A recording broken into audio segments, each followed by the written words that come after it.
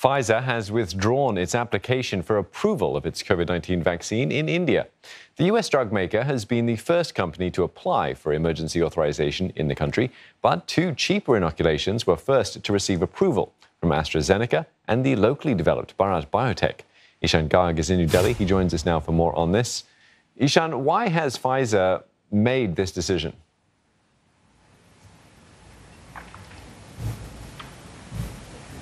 Well, we haven't really heard from Pfizer as to why they have decided to withdraw their application, but the Indian government is actually saying the chief regulator put out a statement saying that uh, they believe that uh, there have been a number of uh, incidences where people have suffered uh, anaphylaxis and um, mild uh, trauma from uh, the vaccine, and they are really referring to cases uh, that have been recorded abroad because Pfizer has not uh, conducted any uh, studies in India, and that's another point that the regulators say has made them consider that Pfizer could not be getting emergency approval in India anytime soon because the company requires to conduct a, a small study in the local population here as well, and all the studies that it had submitted submitted to India's top regulator were based on the population elsewhere in the world.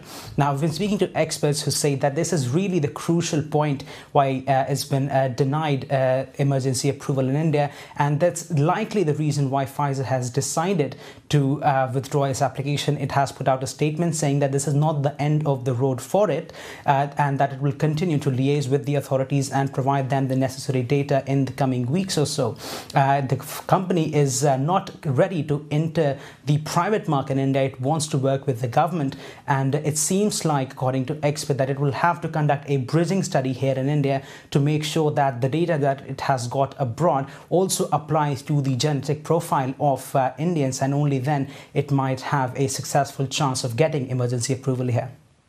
Ishan, a new survey has revealed more than 20% of adults in India have actually been exposed uh, to the virus. Uh, how concerning is that?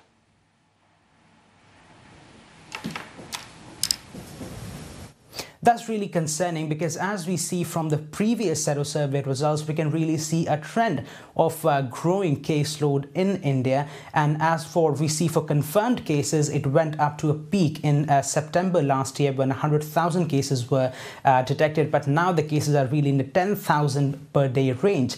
Uh, the Sero survey clearly indicates that that does not mean that COVID-19 cases in India are on the decline, but quite the contrary, they're actually rising. The first Sero survey that came out last last year said that 0.73% um, of India's population was actually infected. And now we are seeing close to 20% are infected. And that's a massive jump.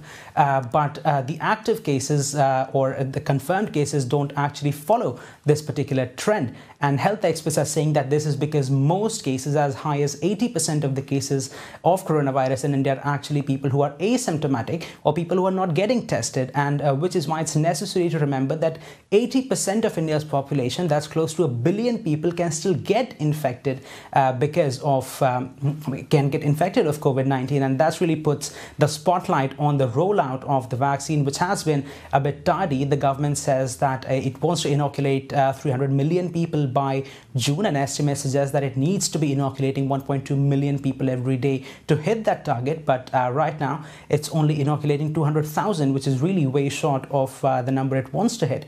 And there's uh, also the problem of vaccine hesitancy. A lot of people not ready to take the vaccine.